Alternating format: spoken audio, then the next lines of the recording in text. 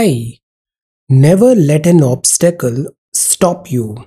You either go through it or go around it. Today is 30th of March 2022. Let us have a quick discussion of all these important topics.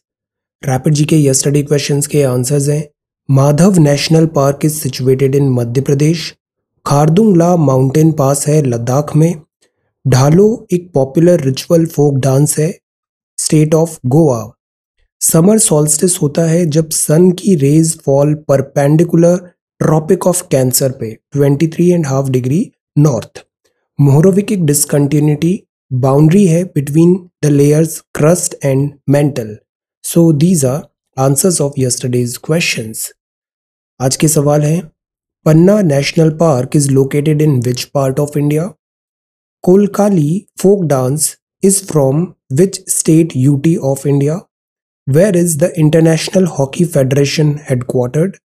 What is the longitudinal difference between the eastern and western points of India? India का map बनाया था ना eastern point और western point में longitudinal difference क्या है and what is the highest peak of south India so these are five questions for today आज की वोकेबलरी है डेट्रीमेंटल डेट्रीमेंटल मतलब होता है हानिकारक है tending to cause harm valorous इसका मतलब होता है वीरतापूर्ण showing great courage in the face of danger especially in battle rapacious means होता है लालची अग्रेसिवली ग्रीडी और ग्रेस्पिंग ग्रीडी रैक्टिट्यूड का मतलब होता है इंसाफ मोरली करेक्ट बिहेवियर और थिंकिंग राइटियसनेस डिसग्रंटल्ड का मतलब होता है एंग्री और dissatisfied so these are vocabulary words for today आज थर्टीथ ऑफ़ मार्च है। आज हम ये दो प्रश्नों पे आंसर राइटिंग करेंगे।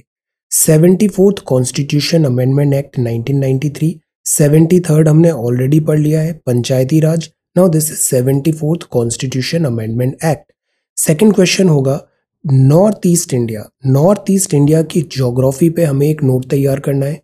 इधर इंपॉर्टेंट माउंटेन रेंजेस क्या हैं? रिवर्स क्या हैं? Biospheres national parks and sanctuaries this is again very very high yielding so this is thirtieth of March 2022 ये आज का न्यूज़पेपर है। सो so, जो फ़र्स्ट न्यूज़ है वो है ahead of Lavrov's arrival US to send deputy NSA to India तो अभी जो रशियन फॉरेन मिनिस्टर है उनका अराइवल पॉसिबल है। उसके पहले यूएस सेंड कर रहा है deputy national security adviser USA का to India Russian foreign minister Friday को इंडिया में अराइवल है। एंड ये अभी डेस्टिनेशन है। एक्चुअली अभी रशिया थोड़ा होल्ड भी कर रहा है। जो भी कीव पे अटैक था Russia to scale back near Kyiv एक टर्की में अभी कॉन्फ्रेंस भी हुआ था मीटिंग हुआ था। ऐसा लग रहा है, जिस तरीके से जेलेंस्की के स्टेटमेंट्स भी आए थे, कि इस वॉर में कुछ सॉल्यूशन निकलता नज़र आ रहा है। Again this is too early let us see wait and watch mean जो पूरा वर्ड है, वो ये भी देखने में है कि इंडिया का स्टैंड इंडिया किस डायरेक्शन में, किस फेवर में, या तो वेस्टर्न नेटो ग्रुप में, या फिर रशिया में। सो एवरीबडी इज़ इंटरेस्टेड कि इंडिया को वो अपने ग्रुप में लेने की कोशिश है। तो इस तरीके से ये सब डेवलपमेंट हो रहा है। लेटेस्ट सी ये इतना डायरेक्ट रेलेवेंस है नहीं हमारा सिलेबस में स्कोप ऑफ़ डिस्कशन में। लेटेस्ट सी ये अराइवल देखते हैं। मिनिस्ट्री ऑफ़ एक्सटर्नल अफेयर्स जो बोलेगा, हम उसको आगे फर्दर कैरी करेंगे। Indian power projects replace Chinese ventures in Sri Lanka Chinese ventures in Sri Lanka Sri Lanka में एक्चुअली में क्या हुआ था? श्रीलंका में चाइना ने ह्यूज इन्वेस्टमेंट किए प्रोजेक्ट्स रन भी किए। कुछ श्रीलंका की डोमेस्टिक पॉलिसीज़ में भी प्रॉब्लम्स थी। एज अ रिज़ल्ट इन सब के कारण क्या हुआ? श्रीलंका जो है, वो एक तो श्रीलंका की जो इकोनॉमी है, वो एक्सपोर्ट लेड इकोनॉमी है टूरिज़्म सेक्टर है सर्विस सेक्टर है, इस चीज़ का एक्सपोर्ट है। और कोविड नाइन्टीन के कारण ये चीज़ों में काफ़ी डिफिकल्टी आया लॉजिस्टिक्स में भी। सो सम टोटल इसका ये हुआ कि श्रीलंका आज की डेट में इकोनॉमिक फ्रंट पे बहुत बुरी तरह स्ट्रगल कर रहा है। तो एक रीज़न तो ये भी है चाइनीज़ के जो प्रोजेक्ट्स थे, वो वेल थॉट ऑफ़ नहीं थे। Most of the projects non performing assets बन गए। और चाइना के डेट ट्रैप में श्रीलंका फंस गया। इस पूरे प्रोजेक्ट के बैकड्रॉप में इन सारी इवेंट्स के बैकड्रॉप में इंडिया यहाँ पे स्टेप इन कर रहा है और India will set up hybrid power projects in three islands of Jaffna effectively replacing the Chinese venture cleared by Colombo last year तो इंडिया काइंड ऑफ़ यहाँ पर हेल्प भी प्रोवाइड कर रहा है क्रेडिट लाइन गारंटी भी दे रहा है स्वॉप अग्रीमेंट भी हो रहा है। सो इंडिया एसेंशियल्स भी यहाँ पे प्रोवाइड कर रहा है। कल ही एक ट्वीट आया था, श्रीलंका का जो हॉस्पिटल है वन हॉस्पिटल कोलंबो में, उसके पास एसेंशियल मेडिसिन नहीं है सप्लाईज नहीं है। Ministry of external affair Jaishankar साहब ने उस ट्वीट में तुरंत रिप्लाई करते हुए इंडियन जो एम्बेसी है, वो स्टेप इन किया और एसेंशियल्स वहाँ पे प्रोवाइड किए। सो इंडिया अपनी कैपेसिटी में यहाँ पर हेल्प प्रोवाइड कर रहा है। India was quick to express concern of the Chinese project coming up in the Palk bay barely 50 kilometre off Tamil Nadu now see ये है India this is Sri Lanka this is Palk bay और यहाँ पर ये ऊपर वाला जो zone है this is Jaffna this is Jaffna Sri Lanka के इस एरिया में अगर ह्यूज चाइनीज़ इन्वेस्टमेंट आ रहा है चाइनीज़ प्रेजेंस बढ़ रही है तो this is threat to us क्योंकि यहाँ पे हमारा जो तमिलनाडु स्टेट है, वो केवल 50 किलोमीटर की डिस्टेंस पे है इस प्रोजेक्ट से। तो इसलिए इंडिया यहाँ पे कंसर्न था। बट फ़िलहाल के लिए ये प्रोजेक्ट पुट ऑफ़ हो गया है। इंडिया इसको रिप्लेस कर रहा है। लेटस सी ये जो टॉपिक है श्रीलंका का, ये भी बहुत सेंसिटिव टॉपिक है श्रीलंका का। सो दैट इज़ वाई इसमें भी वाइज यही होगा कि सोशल मीडिया के बजाय जो मिनिस्ट्री ऑफ़ एक्सटर्नल अफेयर्स जो मैच्योर स्टैंड देती है मैच्योर स्टेटमेंट्स देती है, हम उसको फॉलो करें। न्यू एवेन्यूज हैं तो इस तरीके से इंडिया यहाँ पे चाइनीज़ वेंचर्स को India Indian power projects replace कर रहे हैं। Assam and Meghalaya ink pact to end border row north east का पॉलिटिकल मैप हमने ड्रॉ किया था. नॉर्थ ईस्ट का सबसे बड़ा स्टेट है असम. और जो दूसरे स्टेट्स हैं, वो काइंड ऑफ़ असम था, फिर बहुत सारे जो दूसरे स्टेट्स बने, वो यूटी हुए, फिर देन फुल स्टेटहुड हुआ. असम एंड मेघालय, और स्पेशली एंटायर नॉर्थ ईस्ट में भी एक जो सबसे बड़ा चैलेंज आता है, वो आता है कि यहाँ पर बहुत ज़्यादा डाइवर्सिटी है. तो एट टाइम्स यहाँ पे क्लैशेस भी नज़र होते हैं. असम एंड मेघालय में अभी पैक्ट साइन हुआ है बॉर्डर रो को एंड करने का। So this is a good news 50 year old border disputes था। डिस्प्यूट था 885 किलोमीटर बाउंड्री का। इसको सॉल्व करने का अग्रीमेंट यहाँ पे हुआ है। So this is good give and take होगा। जैसे श्रीलंका के साथ भी हमने बॉर्डर एग्रीमेंट को सॉल्व करने के लिए कुछ एनक्लेव्स थे। श्रीलंकन जो बांग्लादेश एनक्लेव्स थे इंडिया में, वो हमने हैंड ओवर किए। कुछ ट्रांसफ़र हुआ एनक्लेव्स का। So the idea is border issues जो होते हैं बॉर्डर इश्यूज़ हमेशा अगर इंटरनेशनल है तो डिप्लोमेटिकली इंटरनल है तो वो भी पीस एंड डायलॉग के थ्रू बॉर्डर इश्यूज़ सॉल्व होने चाहिए। वायलेंस का यहाँ पे कोई जगह नहीं है। So this is the front page of the Hindu next है नौसी जैसे इंटर स्टेट डिस्प्यूट्स हम देखते हैं, उसमें रिवर इंटर स्टेट डिस्प्यूट एक बहुत बड़ा मुद्दा होता है। ये किस आर्टिकल में है? Answer inter state river water disputes तो ऐसा ही एक मुल्ला पेरियार डैम है। मुल्ला पेरियार डैम हमने मल्टीपल टाइम्स देखा है। ये डैम है केरला में बट ऑपरेशन है बाय तमिलनाडु। तमिलनाडु के जो पाँच ज़िले हैं, वो मुल्ला पेरियार डैम पे डिपेंडेंट है। केरला बोलता है, डैम पुराना है, टूट जाएगा, इसका हाइट कम करो। तमिलनाडु मना करता है और इसी बात की लड़ाई है। Rhino population up by 200 in Kaziranga this is a good news rhino की पॉपुलेशन बढ़ रही है। वेरी गुड न्यूज़ ये जो प्रोजेक्ट राइनो है ना दिस इज़ इंपॉर्टेंट इसको भी हमने काफ़ी दफ़े देखा है पहले। राइनो की पॉपुलेशन बढ़ाना है। इंडिया में जो राइनो मिलता है, वो मिलता है वन हॉर्न राइनोसोरस इसका एक ही हॉर्न होता है, एक हॉर्न होता है। वन हॉर्न अफ्रीका में टू हॉर्न होता है। तो ये जंबो टास्क है। Population of greater one horn Indian rhinoceros Kaziranga national park tiger reserve में बढ़ी है by 200 this is a good thing जो ये लेटेस्ट सेंसस है, वो world heritage site flagship animal का अभी रिवील हुआ। तो ये ऐसा कुछ होता है इंडियन राइनो कई बार इसका जो ऐसा जो हॉर्न है ना, उसको कट कर दिया जाता है ताकि वो पोचिंग नहीं हो उस राइनो की लाइक दैट तो ये इंडियन राइनोसोरस है। कंजर्वेशन स्टेटस इसका वलनरेबल है। वलनरेबल आयुसीएन लिस्ट में और साइट्स के लिस्ट में अपेंडिक्स वन में है। अगर हम देखें तो जो राइनो है बेसिकली जो इंडियन राइनो है, वो पूरी तराई बेल्ट में मिलता है। नेपाल माउंटेन रीजन हिमालय हुआ, इसका जो पेरीफरी है नीचे दिस इज़ कॉल्ड तराई। इस पूरे तराई रीजन पे राइनोसोरस मिलते हैं।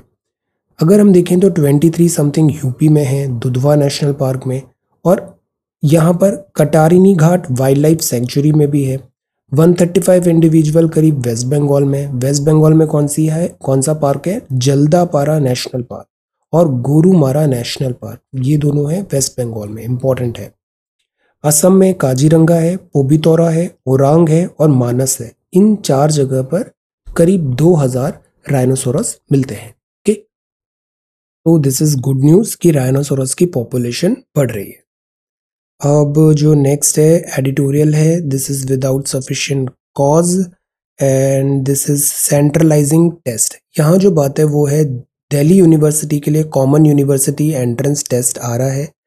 Undergraduate programme all university grant commission C U central universities के लिए, बाईस तेईस में। अब यहाँ जो प्राइमरली कंसर्न है ना, वो ये है कि क्या हम जेई जैसा या फिर नीट जैसा एक और कॉम्पिटिटिव एग्जामिनेशन तो नहीं बना रहे? अगेन इससे क्या होता है? कॉम्पिटिटिव एग्जामिनेशन से हम kind of like coaching culture को प्रमोट करते हैं। तो क्या जो अभी प्रेजेंट पैटर्न है, वो कंटिन्यू करना वाइज नहीं होगा, बजाय इस कॉम्पिटिशन के बिहाफ में नया एंट्रेंस टेस्ट बनाने का? No doubt the proposal is influenced by national education policy जो एडवोकेट करती है कॉमन एंट्रेंस एग्जामिनेशन हो national testing agency for undergraduate and graduate admission and fellowship एक कॉमन चीज़ हो। एक्चुअली हमारे यहाँ प्रॉब्लम ये भी होती है अलग अलग यूनिवर्सिटी है, सबका डिफरेंट डिफरेंट क्राइटेरिया है। मल्टीपल फॉर्म्स भरो मल्टीपल एग्ज़ाम्स दो। इसके बजाय क्यों ना एक ही फॉर्म हो, एक ही एग्ज़ाम हो समथिंग लाइक दैट हम करने की कोशिश करें। तो central universities common entrance test इस टाइप से प्लान है। प्रॉब्लम जो है क्रिटिसिज्म वो ये है कि हम अगेन कहीं ऐसा तो दूसरा जेई तो नहीं बना रहे बिकॉज़ जेई और नीट जैसे एग्जामिनेशन के बहुत ज़्यादा नेगेटिव इफ़ेक्ट भी होते हैं स्टूडेंट के overall growth in this schooling में। Test being introduced just ahead of an admission season student वैसे ही कोविड नाइन्टीन से परेशान है तो क्या ये वाइज डिसीज़न है? प्लस कॉमन इंटरेस्ट टेस्ट जो होता है, ये प्राइमरली एनकरेज करने लगता है कोचिंग इंडस्ट्री को। कॉस्ट हैवी हाइब्रिड क्लासेस जो होंगी क्लास सिक्स ऑनवर्ड्स तो डिवाइड होगा हैव्स और हैव नॉट्स में। कोविड नाइन्टीन के कारण एजुकेशन वैसे ही पैंडमिक में बुरी तरह डिस्टर्ब हुआ है। हैव्स एंड हैव नॉट एक सेक्शन ऑफ़ सोसाइटी था, उनके पास सारी फैसिलिटी थी तो वो ऑब्वियसली अच्छा किया। दूसरा सेक्शन ऑफ़ सोसाइटी है, उनके पास लाइवलीहुड ऑप्शन खत्म हो गए। ना लेटेस्ट गैजेट्स हैं मोबाइल्स लैपटॉप्स नथिंग तो they obviously suffered a lot education में एक और चीज़ होता है, घर में, जैसे work from home is a different thing education में घर में पढ़ाई का माहौल है या नहीं है there are so many factors तो लर्निंग आउटकम ऑब्वियसली यहाँ कॉम्प्रोमाइज हुए हैं। Country has miles to go in enabling access to entry level higher education bridging the gender and economic gap university portal में। Gender economic gap class gap haves and have nots के बीच जो gap है, इन सब चीज़ों को plug करना ज़रूरी है। तो उस पूरे बिहाफ में ये जो है डिसीज़न कॉमन एंट्रेंस टेस्ट बनाने का क्या ये प्रैग्मेटिक है या नहीं इस बात पे सवाल है। एजुकेशन रिलेटेड एक और आर्टिकल है यहाँ पे कि एजुकेशन बेसिकली क्या होता है? जो चीज़ें हम बुक्स में पढ़ते हैं, जो हमें टीचर्स बताते हैं, जो यंग माइंड्स होता है, वो काफ़ी एब्जॉर्बिंग होता है लाइक अ स्पंज होता है। उसको आप जो चीज़ बैठा दोगे तो वो दिमाग में बैठ जाती है।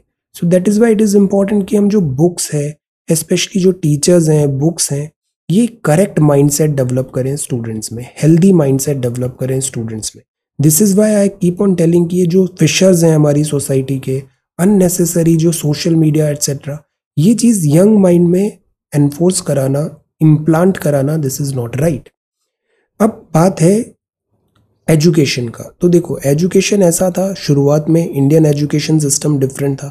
ब्रिटिशर्स आए मैकॉले कमेटी आई, हमने पढ़ा था ना 1813 रिवीजन क्लास फिर 1823 फिर 1835 तो इस तरीके से मैकॉले कमेटी आई और इंग्लिश एजुकेशन आने लग गई। इंग्लिश एजुकेशन और उससे क्या हुआ कि जैसे इंग्लिश स्पीकिंग एक हमने क्लास बना दिया। ब्रिटिशर्स का प्राइमरली मोटो ये था कि ब्राउन इन स्किन मतलब इंडियंस हैं बट टेस्ट इन ब्रिटिश होना चाहिए। टेस्ट जो है, रहना डहना, रहन सहन एट्सेट्रा वो ब्रिटिश कल्चर वाले लोग बनाने।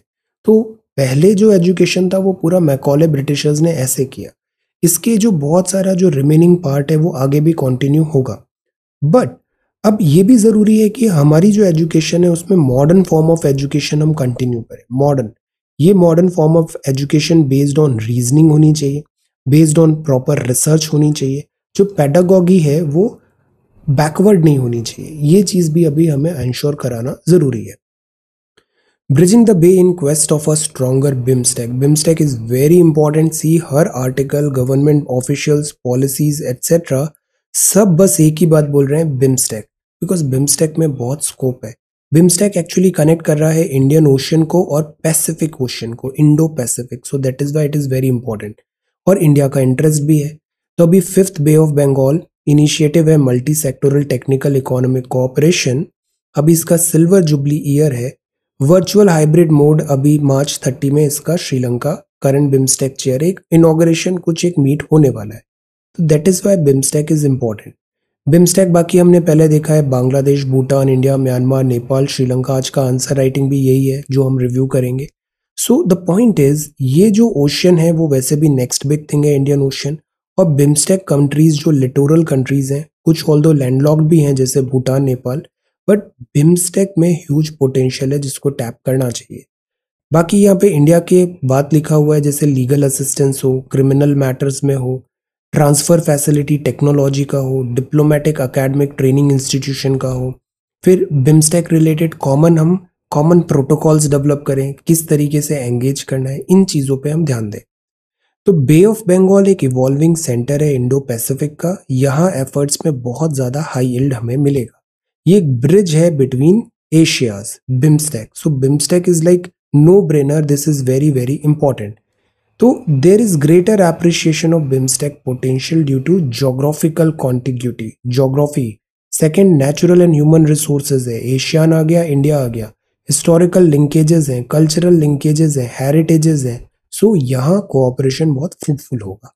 तो दैट इज़ वाई बिम्स्टेक बहुत अच्छे से पढ़ना है this is very very very important need for connectivity की भी ज़रूरत है, जैसे कलादान मल्टी मॉडल प्रोजेक्ट बनाने की बात है बिम्स्टेक अगर कनेक्ट होगा बिम्स्टेक अगर वर्कआउट होगा प्रॉपरली तो हमारा नॉर्थ ईस्ट कनेक्टिविटी का जो प्लान है, वो भी बेटर होगा सो दैट इज़ वाई हम यहाँ इतना एम्फेसिस कर रहे हैं बिम्स्टेक पे इसमें जो आंसर्स आपने लिखे हैं, वो भी बहुत अच्छे आंसर्स हैं बिम्स्टेक में इंडिया का रोल है इंडिया यहाँ पे लीडरशिप रोल प्रोवाइड कर सकता है तो this we need to do vibrant stronger and result oriented BIMSTEC bridging the bay in quest of a stronger BIMSTEC. Okay. Then doomsday book that launch the movement और यहाँ पर actually geography में हम पढ़ते हैं the limit to growth model कि जो अर्थ है रिसोर्सेज है, उसका एक लिमिटेशन है। कोल है तो उसका लिमिटेशन है।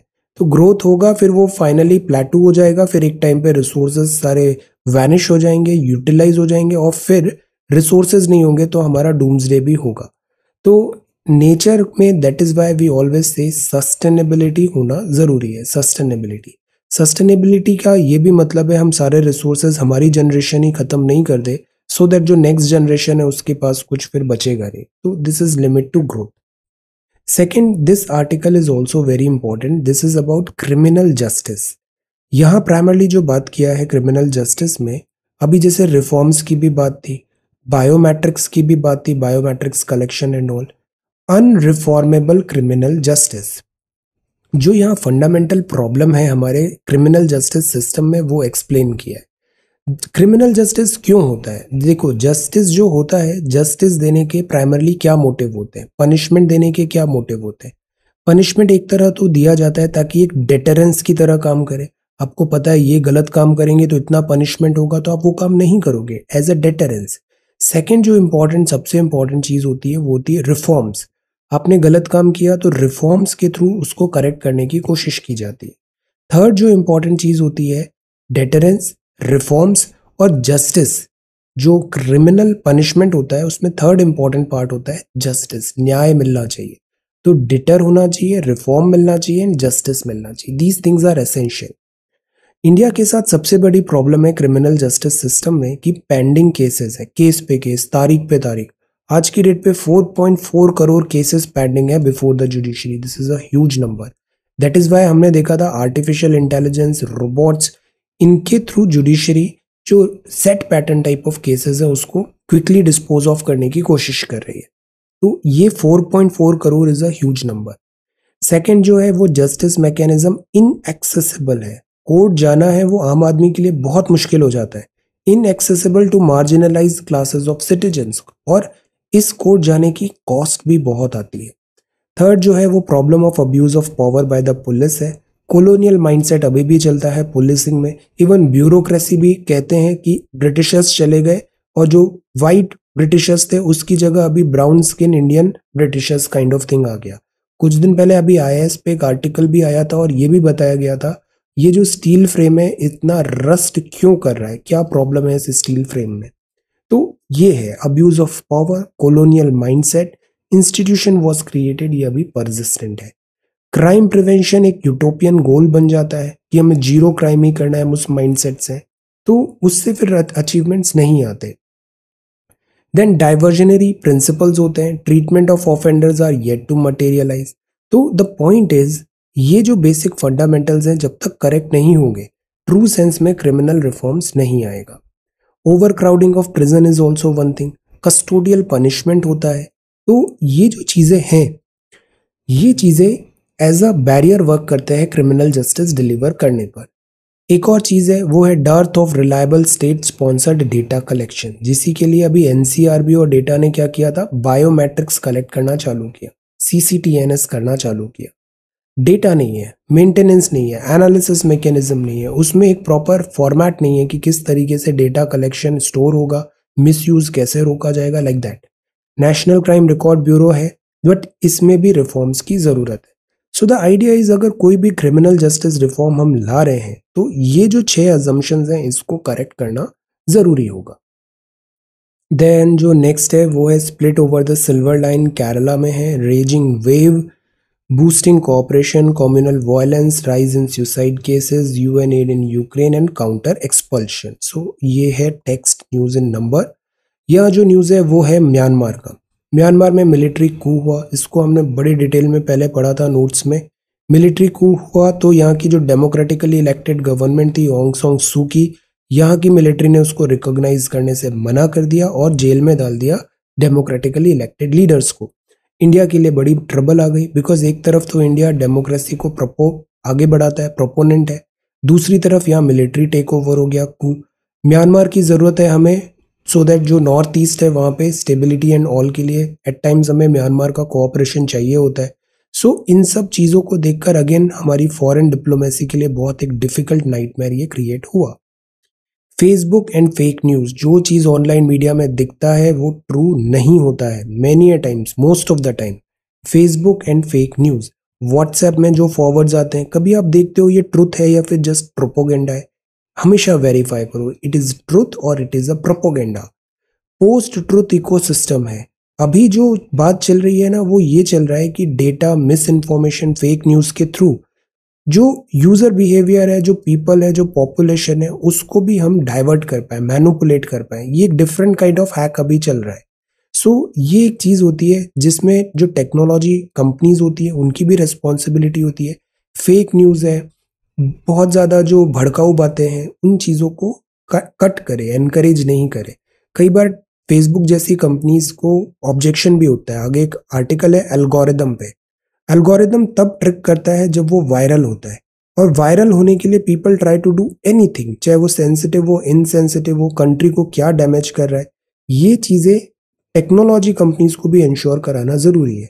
So this is the because ये सब ना एक प्राइवेट कंपनीज़ हैं फेसबुक हुआ ट्विटर हुआ these are private companies private companies मतलब profit is their motive expansion is their motive और जब वायरल और दिस विट्रियोलिक कंटेंट होता है तो नेगेटिव ज़्यादा बिकता है so that is why people at times to do intentionally they try to do such type of tactics voices of kashmir voice of kashmir then india seeks closer bimstec partnership this is one thing see statement देखो जयशंकर साहब का e का BIMSTEC is very very important then अब see politically motivated algorithm algorithm जो होता है ना, जैसे मैनी टाइम्स हम न्यूज़पेपर भी कवर करते हैं we try to neutral YouTube के एल्गोरिदम में एट टाइम्स अपन पिक नहीं हो पाते because we don't do a cut certain type type of things या certain type of vocabulary we don't use so the point is इस type की चीज़ों को भी अल्गोरिदम से भी ऊपर उठना चाहिए इन टेक्नोलॉजी कंपनीज़ को भी technology companies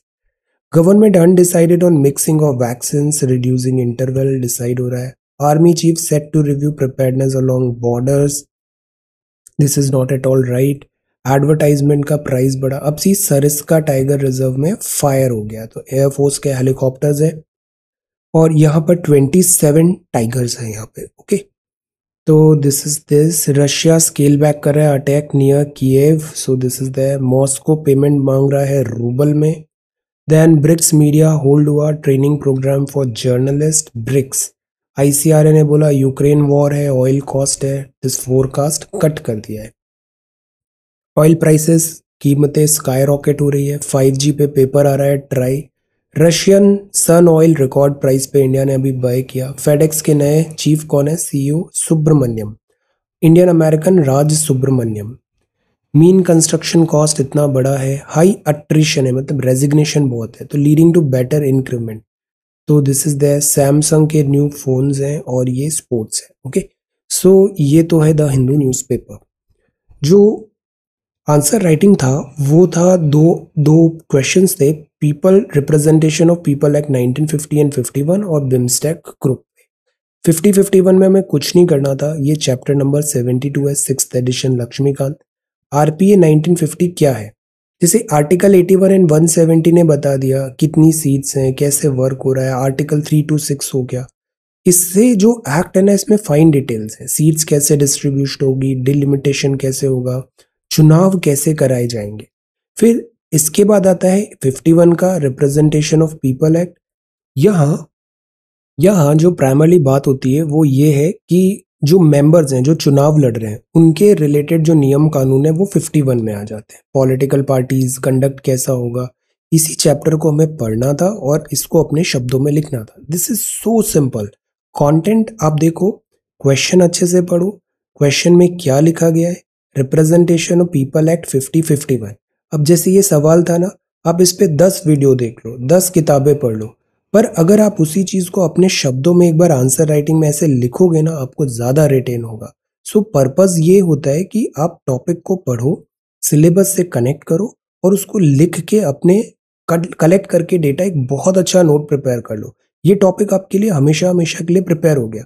इस एक्सरसाइज को करने में अगर one one and half hour भी लग रहा है ना तो आपके लिए ये अगेन विन विन सिचुएशन है। It is not much time one one and half hour में आपके इतने अच्छे से सारे टॉपिक्स प्रिपेयर हो रहे हैं, ये हम कम समय में ही कर रहे हैं देन ऑल देन उस केस में भी जब आपको one one and half hour लग रहे हैं okay so just do it similarly BIMSTEC अच्छे से कर लिया, आने वाले सब सवाल तैयार होंगे अगर ये सारा टॉपिक बिम्स्टेक का आपने अच्छे से पढ़ लिया ओके तो ये सारे सबमिशंस हैं.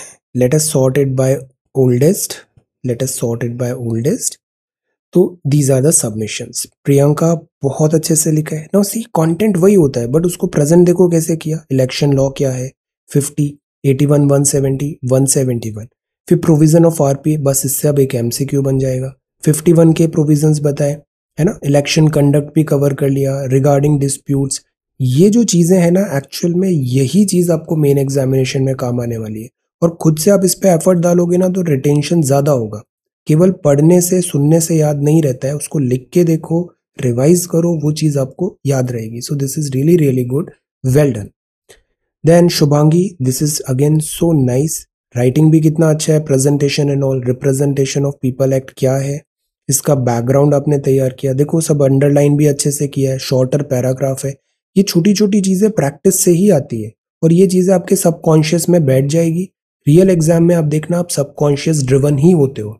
जो एक्चुअल है ना टाइम प्रेशर एग्ज़ाम प्रेशर में आप सबकॉन्शियसली लिखना चालू करोगे और फिर यही चीज़ वहाँ पे आप लिखोगे। So this is good then 1950 के प्रोविज़न देखो कितने अच्छे से लिखे सारे। डीलिमिटिंग इलेक्टोरल रूल्स आरओ क्या होता है? फिर 51 see presentation content everything is so good very nice objective भी बताए। अब ये नेक्स्ट है। दिस इज़ जब भी नेक्स्ट है ना, उसको न्यू पेज से स्टार्ट करना है और यहाँ थोड़ा जगह छोड़ना है ताकि एक्स्ट्रा कुछ चीज़ें बाद में लिखना है तो वो हम लिख पाए।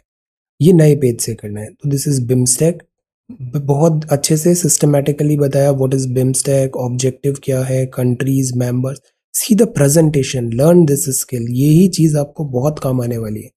इनिशिएटिव्स कौन से हैं? इनिशिएटिव्स अंडर वे सिग्निफिकेंस क्या है? कनेक्टिविटी क्या है? Etcetera fantastic now this is Asha R P act 1950 बहुत अच्छे से आपने सारे डिटेल्स बताए यहाँ पे। आप बहुत अमेजिंग आंसर्स लिख रहे हो। इसी तरीके से लिखना है रिवाइज करना है। आप देखोगे हमारी पॉलिटी कवर हो रही है जोग्राफी कवर हो रही है, पूरा सिलेबस कवर हो रहा है। जस्ट एक आंसर राइटिंग प्रैक्टिस करने से दिस इज़ दैट इंपॉर्टेंट तो बिम्स्टेक के बारे में भी लिखा मैप बहुत अच्छा है fantastic geo economic geo strategic importance भी लिखना था तो सी प्रोजेक्ट्स का compilation fantastic this is really good इससे प्रिलिम्स में सवाल आएगा देन कंक्लूजन वेरी नाइस सुंदर this is so good prepare representation ये टॉपिक बहुत इंपॉर्टेंट है। इस तरीके से हमने आधी से ज़्यादा पॉलिटी लक्ष्मीकांत बुक कवर कर ली है। तो दिस इज़ रियली गुड देखो कितने अच्छे से लिखा आपने। वेरी नाइस रिप्रेजेंटेशन 1950 फिर 51 इससे प्रिलिम्स में भी सवाल आएँगे मेंस में भी सवाल आएँगे। This is that important RPA because पिछले कुछ टाइम से हमने देखा है, चुनाव सीज़न भी बहुत ज़्यादा रहा है। This year this is important Prerna this is again so nice writing is so neat and clean BIMSTEC है। सेवन मेंबर्स हैं, ऑब्जेक्टिव्स हैं। सी, इसी को बोलते हैं स्ट्रक्चरिंग करना, कि आपने हेडिंग सब हेडिंग ऑर्गेनाइज्ड वे में सारा चीज़ लिखा। Structured and organised in this entire preparation is very होना बहुत ज़रूरी है। Challenges in way forward good then Razia see, कितना अच्छा से लिखा है आपने डे फोर है awesome so this is good आपकी हैंड राइटिंग भी बहुत अच्छी है। आप स्पायरल में भी लिख रहे हो तो दिस इज़ गुड इससे पन्ने घूमेंगे नहीं। तो जिस तरीके से इलेक्शन बताया आपने constitution E C I see presentation content सबका वही रहता है बट किस तरीके से अप्रोच किया है व्यू पॉइंट प्रेजेंटेशन वो डिफरेंस क्रिएट करता है। See this is really good ready for the electoral process अब की प्रोविजंस बताया, देखो नंबरिंग किया है यहाँ पे और अंडरलाइन भी किया है। Learn this thing one two three four five six seven very good Anthony map work में तो आप परफेक्ट हो गए हो बेस्ट मैप वर्क होता है आपका। This is so good very nice then this is really good तो सी कितना आसान था। आई रिमेंबर फ़र्स्ट डे आप इतना हेजिटेंट हो रहे थे राइटिंग के लिए वर्क के लिए। अब देखो कितना क्लासिक एक आपने आंसर लिखा है one of the best so the point is सोचना कम है, काम ज़्यादा करना है। एक्ट मोर और बी मोर तो this is connectivity project potential see this is so easy and you are doing so well this is really good then second है आरपीए तो ये भी हमने अच्छे से कर लिया। लक्ष्मीकांत का दो चैप्टर तैयार हो गए हमारे इलेक्शन रिलेटेड गुड सो ये सारे पॉइंट्स हैं. Very nice then Saroj this is again so nice BIMSTEC अब ये स्टाइल भी अच्छा होता है. हम ऐसे डायग्राम चार्ट इससे क्या होता है? मोनोटोनस नहीं लगती copy this is good then इस तरीके से फ्लो चार्ट बनाया आपने. वेरी नाइस वेरी गुड तो ये एक टॉपिक तैयार हो गया. काजल, आप बहुत अच्छे से कर रहे हो, Kajol. So this is good BIMSTEC formation countries data भी आपने लिखा है तो गुड आर्ग्यूमेंट एंड आर्ग्यूमेंट को बैक करो डेटा से. प्रिंसिपल देन इंपॉर्टेंट इंडिया के लिए क्या है? Structuring is so nice B C I M बहुत अच्छा है, इसलिए मैं इसको क्विकली गो थ्रू कर रहा हूँ। देन रजिया मैप वर्क आपका भी बहुत औसम होता है। सी बे ऑफ़ बंगाल और इस चीज़ को हाईलाइट किया। लर्न दिस थिंग कितना neat and clean and simple है ये। गुड बिमस्टेक के बारे में बताया आपने ऑब्जेक्टिव हिस्ट्री मैकेनिज्म क्या होता है challenges very nice structuring what's I am so happy आपने आंसर लिखा और सबमिट भी किया। Democracy is the government of the people by the people for the people wonderful फिर three two four three two nine R P A good यहाँ हम number कर देते हैं one two three four like that then local authority फिर R P A nineteen fifty one excellent अब ये topic अच्छे से हो गया लक्ष्मीकांत का chapter number seventy four that's all इसी तरीके से आप देखो within two three months अपनी पूरी बुक कंप्लीट हो जाती है। और वो हमने खुद लिख के किए ना तो इसका रिटेंशन बहुत ज़्यादा रहेगा okay Shikha this is again so good BIMSTEC के बारे में बताया। अब see the presentation seven members कौन से एंड देन डायग्राम भी बहुत अच्छा है। Map work good genesis see अब अप्रोच कैसे किया? जेनेसिस फिर करंट पे आया। इकोनॉमिक सिग्निफिकेंस बताया। SAGAR security and growth for all excellent geography it is India interest to consolidate its internal engagement among the BIMSTEC countries good associated challenges, way forward. Excellent. Gujral doctrine. Bhi so, see, it is so easy. Difficult part is to participate, to write. So, just start. Very nice. Ratnapriya this is really good map is awesome BIMSTEC अब जब हम photo लेते हैं ना तो उसको steady hand से लिखें जैसे देखो, यहाँ ब्लर हो गया, पर यहाँ कितना क्लियर फ़ोटो आया है। स्टेडी हिलना नहीं चाहिए स्टेडी हैंड से। और अगर प्रॉपर लाइट है तो और बेटर फ़ोटो आता है फिर। This is genesis good see this is so good आपका प्रेजेंटेशन भी बहुत अच्छा है. प्रेजेंटेशन स्किल्स ऑसम है. Challenges chairmanship and way forward excellent then RPA बताया आपने. गुड आर्टिकल क्या है? स्केड्यूल्स क्या है? गुड बहुत इंपॉर्टेंट है. इससे सवाल आता है. आकांक्षा ऑसम कंसिस्टेंसी है आपकी. परिचय बताया आपने. पृष्ठभूमि अधिनियम, ये बड़ा इंपॉर्टेंट टॉपिक है. मुझे लग रहा है लक्ष्मीकांत हमने, आप काफ़ी टाइम से बहुत अच्छे से लिख रहे हो, बहुत अच्छे से sixty eighty percent Laxmikanth book हमारा कवर हो गया है। अब आप क्या करो, ये जो आंसर्स लिख रहे हो ना, इसको आप अच्छे से रिवाइज भी करो। जैसे दो दिन ऑफ़ होता है ना सैटरडे संडे इसके रिवीजन पे थोड़ा टाइम दो। इससे चीज़ें आपकी कंसोलिडेट बहुत होगी और जो हमारा सिलेबस भी कवर हो रहा है कंसोलिडेट भी हो रहा है तो इससे कॉन्फिडेंस बढ़ेगा बहुत ज़्यादा ओके क्योंकि आप बहुत मेहनत से आप ये सारी चीज़ें कर और देखना इसी से सवाल भी आ जाएँगे ओके चुनौतियाँ आगे की राह निष्कर्ष। वेरी नाइस अदिति, आपने भी बहुत अच्छे से कंपाइल कर रखा है। अदिति ने भी एक फ़ोटो शेयर किया है। कंपाइलेशन का मैं उसको शेयर दिखाता हूँ। She is writing answers every day for such a long time this is really really good representation of people act अब इसी चीज़ को रिवाइज करो अच्छे से। आपको कोई डिफिकल्टी नहीं आएगी। प्रिलिमिनरी भी केक वॉक होगा मेंस भी केक वॉक होगा। पुष्पेंद्र, हिंदी बहुत अच्छे से लिखते हो। देखो, कितना अच्छे से हिंदी लिखा है तो हिंदी कोई बैरियर नहीं है। कुछ स्टूडेंट्स एक्सक्यूज देने लग जाते हैं कि हिंदी में लिख रहे हैं, इसलिए नहीं सबमिट कर रहे।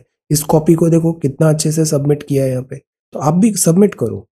बिम्स्टेक हुआ गुड सी बिम्स्टेक का गठन, उद्देश्य कंटेंट मैटर करता है। लैंग्वेज तो बस एक मीडियम है, क्षमताएँ गुड महत्वपूर्ण क्या है? Neighbourhood first act east good very nice सही, अब ये कितना अच्छा पार्ट है, इसको नंबरिंग कर दो वन टू थ्री फोर और ये न्यूज़पेपर से ही पिक किया है तो दिस इज़ रियली गुड चुनौतियाँ excellent very nice answer Meenu this is good अब बिमस्टेक हमने हाईलाइट कर दिया इंट्रोडक्शन बताया secretariat data structuring is so good organise very nice area of cooperation institutional mechanism excellent way forward then ये भी बहुत अच्छे से आपने लिखा है फिफ्टी फिफ्टी वन आरपीए क्या है फिफ्टी वन ये बहुत इंपॉर्टेंट है इससे प्रिलिम्स में सवाल आना चाहिए आरपीए इससे रिलेटेड प्रोविज़न इलेक्शन से related provision Priyanka this map is again good introduction objective see set pattern है, बहुत अच्छा आंसर है ऑब्जेक्टिव है टू द पॉइंट है structuring is good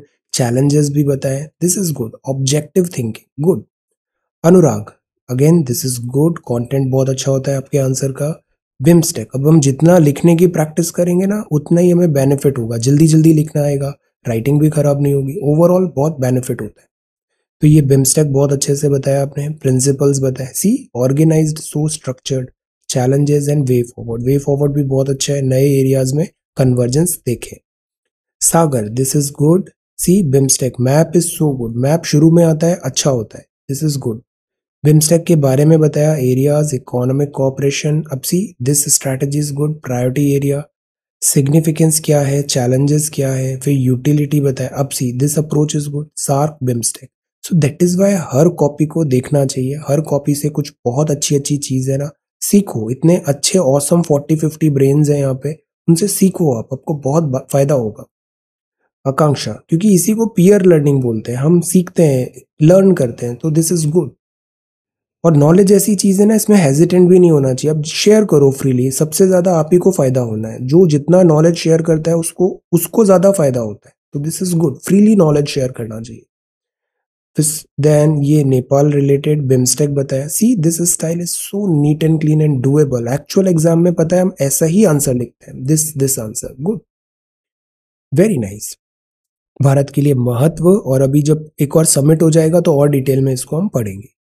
Indrani this is really good fifty fifty one आपका hand writing कितना अच्छा है। रिप्रेजेंटेशन ऑफ़ पीपल एक्ट और स्टाइल भी बहुत अच्छा है। बहुत टू द पॉइंट सीधा सीधा बिना वर्बोसिटी के कंटेंट डिलीवर करते हो। This is good RPA 1951 this is good very nice अब ये सारे एग्ज़ाम्स के लिए इंपॉर्टेंट है। स्टेट एग्ज़ाम्स में भी ऐसे सवाल आते हैं, बहुत आते हैं इनफैक्ट तो this is BIMSTEC introduction very nice then genesis objectives very good तो ये बहुत अच्छे से आपने बताया।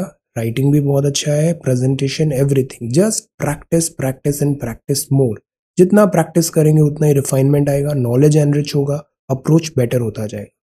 Riya this is again so nice this topic is very important fifty fifty one और एक इलेक्टोरल रिफॉर्म्स भी, उस पर भी हम प्रिपेयर कर लेंगे।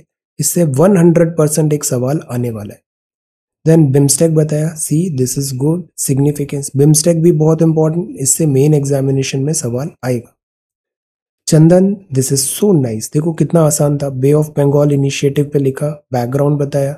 देन मेंबर कंट्रीज़ बताई एरियाज़ बताया objective see map is again awesome principles बताया लेटेस्ट डेवलपमेंट बताया थीम्स बताया. तो सी जब तक चीज़ें मुश्किल लगती है, जब तक हम करते नहीं है, एक बार ही आप उसको स्टार्ट कर दो ना एक्ट थॉट नहीं act once you start act action पे आता है, चीज़ें ईजी होने लग जाती है. पेन उठाओ कॉपी उठाओ टॉपिक को पढ़ो और लिखना चालू कर दो. ये बहुत आसान है ये चीज़ करना ओके और ये चीज़ रिटेन भी होगा। Old school is a good school then Shubham this is really good once again amazing answer आपका बहुत अच्छा कंसिस्टेंसी है और क्वालिटी भी टॉप नॉच है।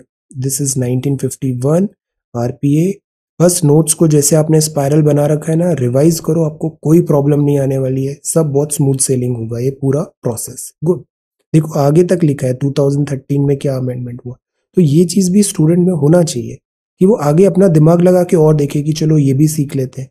इस चीज़ से ना आपको बेनिफिट होगा। जैसे देखो यहाँ अमेंडमेंट 2002 भी बताया 10 भी बताया 13 भी बताया। गुड मैप आज का बहुत अच्छा है। This is really good map BIMSTEC बताया इंपॉर्टेंट इंडिया के लिए क्यों है? अब ये पूरा करंट अफेयर्स का कोट लिया है यहाँ पे। दिस इज़ गुड इससे क्या कंटेंट आपका स्टैटिक नहीं लगता। वरना जो पढ़ते हैं, वो ऐसा पढ़ते हैं कि वो मतलब 20 साल पुराना कंटेंट है। अब उसी को नो लेटेस्ट चीज़ देखो, उसकी प्रिज्म से चलो तो वो आपको ज़्यादा बेनिफिट करेगा।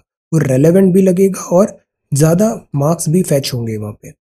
तो this is good Harjinder this is really good provision of 1951 act see कितना अच्छा लिखते हो आप, इसी तरीके से कंटिन्यू करो। देखो सिंपल सिंपल चीज़ें लिखना है। 81 170 टॉपिक भी पढ़ना है, लिखना भी है। हर एरिया ऑफ़ एग्ज़ाम में जो है रिक्वायरमेंट राइटिंग रीडिंग कॉम्प्रीहेंशन हर जगह आपको बहुत बेनिफिट होगा। Just be regular and study full throttle Chandan see this again is a really good answer कितना अच्छे से आर पी आरपीए बताया आपने। Very good RPA good excellent Aarti to the point answer once again BIMSTEC क्या होता है? Bracket में map बनाया। गुड पिलर्स बताए। This is so important pillars newspaper में आया था। वे ऑफ़ बंगाल बताया आपने।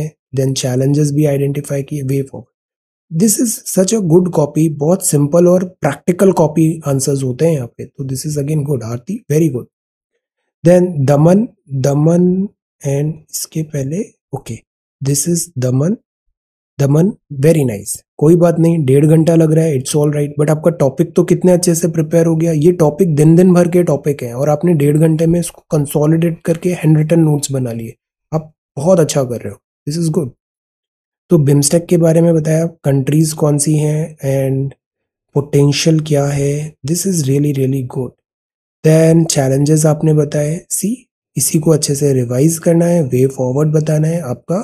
बहुत अच्छे ट्रैक पे it's all right one one and half hour लग रहा है। It's all right but do it ये आपको ओवरऑल बहुत प्रिपरेशन में हेल्प करेगा। और ये सारे बहुत हाई यील्डिंग टॉपिक्स हैं। ये आपके तैयार हो गए। दिस इज़ सो गुड हम बहुत एफिशिएंटली और स्पीडली सारी चीज़ें कवर करें this is good Ram Naresh this is again so nice fifty आप बस इसी तरीके से पढ़ो। आपका प्रिलिम्स भी बहुत आसानी से निकलने वाला है और मेंस भी बहुत आसानी से निकलेगा। बस कंटिन्यू करना है हमें। खुद पे कॉन्फिडेंस रख के आप बहुत अच्छे से क्वालिफाई करोगे फ्लाइंग कलर से। So this is good matters see this is really good Khushbu this is also nice seven this nation BIMSTEC see the presentation good areas monotonous नहीं होता है. This is good state of Malacca, challenges क्या है? Excellent Dhanakshi this is really really good map थोड़ा सा better करने की कोशिश करें प्रोपोर्शनेट बनाए इसे। बाकी आपकी राइटिंग आपका content everything is really really nice evolution कैसे हुआ? Utility see this style is good significance excellent geo economic significance strait of Malacca good map के थ्रू बताया आपने. Very nice important ports etcetera excellent Banani this is again good geo economic significance बताना था. BIMSTEC बहुत important है. इससे 100 percent सवाल आएगा. गवर्नमेंट का पूरा फोकस इधर इसी एरिया पे institutional mechanism objective see so good structuring है. कंटेंट भी अच्छा है. राइटिंग भी बहुत अच्छी है. एक्सेलेंट बस अब पढ़ना है. फुल थ्रॉटल पढ़ना है. जितना नॉलेज बेस बढ़ेगा, उतना ही रिफाइनमेंट आएगा. Mamta this map is so good कितनी मेहनत से बनाया और इतना अच्छा मैप बनाया. वेरी नाइस अब ये पूरा याद हो गया हमें, अब ये भूलेगा नहीं। इस चीज़ को हम अच्छे से आंसर में लिख देंगे।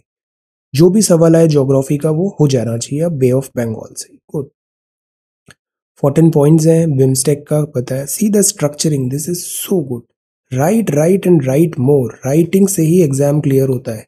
Sheetal this is really good 81 170 आपकी हैंड राइटिंग कितनी अच्छी है? See part one two A three okay then act क्या चाहता है? हिस्टोरिकल बैकग्राउंड 325 किया, फिर 50 के provisions delimiting CEO good very nice तो ये बहुत अच्छा है सब्जेक्ट मैटर्स आपने पूरा अच्छे से एनसीईआरटी कवर कर लिया। एक कमेंट और आ गया है, इतना लेट में रिकॉर्ड कर रहा हूँ this is really good Sagar this is good RP अभी आपने जस्ट सबमिट किया 81 वेरी नाइस रिप्रेजेंटेशन आप आंसर लिखो, बहुत अच्छे से आप आंसर लिख रहे हो। Representation of people act see इसी से प्रिलिमिनरी में एक सवाल आ जाएगा आरपीए 1950 क्या बोलता है 51 क्या बोलता है? और हम उसका आंसर कर लेंगे। गुड अपने अमेंडमेंट्स भी करे हैं यहाँ पे। Good significance this is good equal discrimination नहीं होना चाहिए। हमारी पॉलिटिकल फंडिंग एटसेट्रा पे भी हम ध्यान दे रहे हैं। So this is really really good 41 comments I am so happy इसी तरीके से आप आंसर्स लिखो। सब के सब बहुत अच्छा मेंस में अभी क्वालिफाई करोगे। प्रीलिम्स में भी हमें ध्यान देना है। Okay So thank you so much for watching this video. Take care, study well and be safe.